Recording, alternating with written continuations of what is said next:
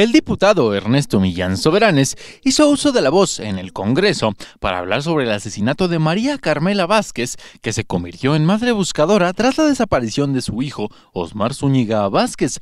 También mencionó lo relacionado al subejercicio de recurso de la Comisión Estatal de Búsqueda y anunció que presentará un punto de acuerdo de obvia resolución sobre el tema en la siguiente sesión. Personas desaparecidas en la entidad.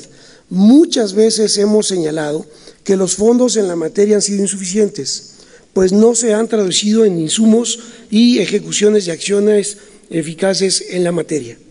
Esto se agrava cuando observamos que esta comisión de búsqueda no ha sido capaz de ejercer los recursos para atender la grave situación de violación a derechos humanos derivada de la desaparición de miles de personas en Guanajuato.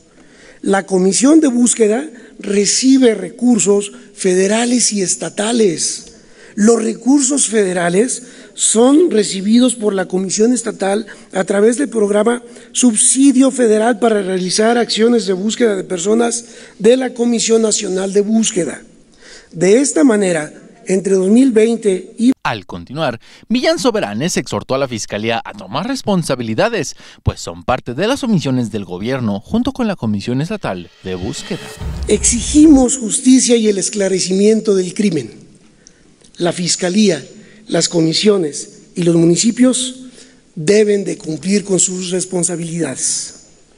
El exhorto que tengo a bien presentar respetuosamente el día de hoy, a nombre del grupo parlamentario de Morena, se propone de urgente y obvia resolución perdón, para que pueda ser votado en la siguiente sesión.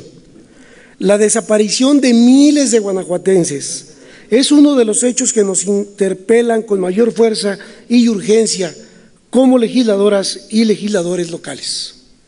Según el Registro Nacional de Datos de Personas Extraviadas o Desaparecidas, en nuestra entidad existen 2.941 personas desaparecidas y no localizadas.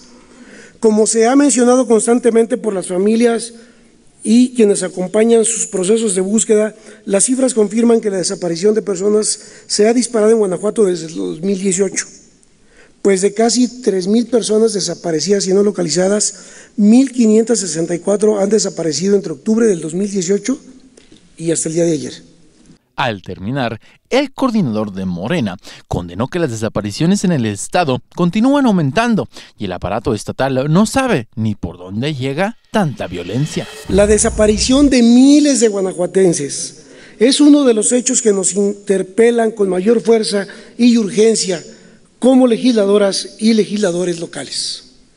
Según el Registro Nacional de Datos de Personas Extraviadas o Desaparecidas, en nuestra entidad existen 2.941 personas desaparecidas y no localizadas.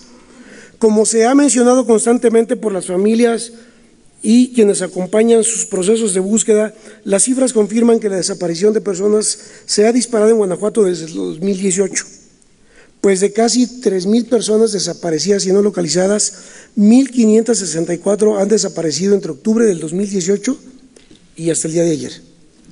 Por su parte, según la cifra dada por la Unidad de Transparencia de la Fiscalía General del Estado, el 18 de octubre de este año hay 3.331 personas que se encuentran en proceso de localización en nuestra entidad.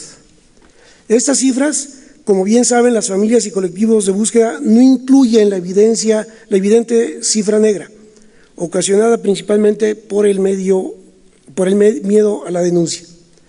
Son las personas familiares de víctimas y sus organizaciones colectivas de búsqueda quienes han encabezado la lucha por el derecho a ser buscado, a la verdad y a la justicia, muchas veces remando contracorriente de la acción gubernamental que en vez de garantizarles sus derechos, ha llegado a, posponerlos y negarlos.